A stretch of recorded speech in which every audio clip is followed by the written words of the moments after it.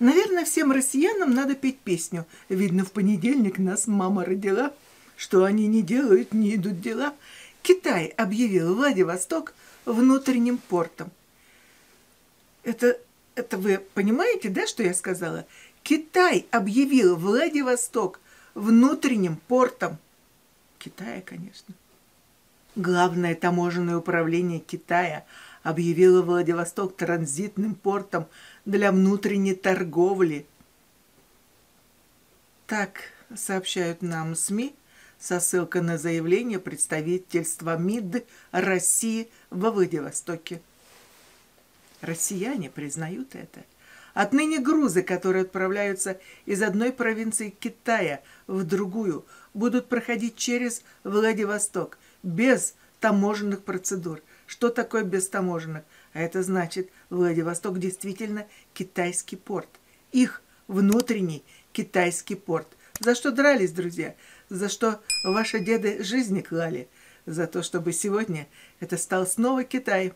Решение вступает в силу с 1 июня 2023 года и коснется товаров, следующих с северо-востока КНР на юг. Если раньше из граничащей с Российской Федерацией провинции Цзилинь грузы обычно вывозились а, на противоположный конец Китая, преодолевая а, тысячи километров до портов Желтого моря, то теперь их можно будет вести лишь пару сотен километров до Владивостока. Там контейнеры будут перегружаться на суда и отправляться к получателю. Но сейчас нам расскажут, как и что выгодно.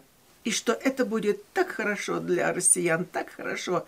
И порты расширятся, и рабочие места появятся. Но чем не жизнь, друзья? Малина. Только ведь все это было только что российским. И только что порты были полностью загружены при таком-то транзите, когда со всех сторон нужны были эти порты, то есть всем странам мира нужны были, естественно, это все были деньги, это все были доходы и рабочие места. Потом все сократили, а теперь вуаля, китайцы взяли порт под свое крыло. их собственность теперь этот порт. Так если порт их собственность, так а что тогда и земля вся?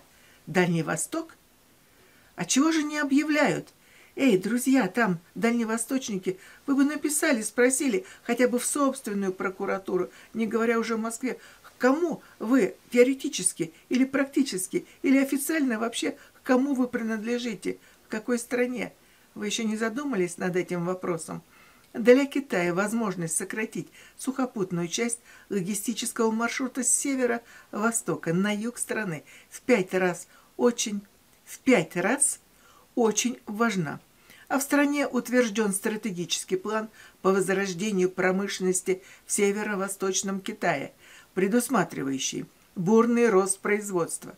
Но пока не ясно, справится ли инфраструктура Владивостока с увеличением грузопотока, если оно будет достаточно заметным.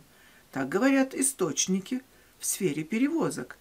А в сентябре-декабре прошлого года в порту Владивосток образовались пробки, а судам приходилось ждать разгрузки по две недели. Ну еще бы, такой бардак в стране, что же вы хотите? И три недели будет ждать. Не исключено, что к осени заторы возникнут снова. Говорят, собеседники издания не возникнут. Раз с 1 июня берут китайцы под себя, там все будет чики-чики, все будет по полочкам разложено.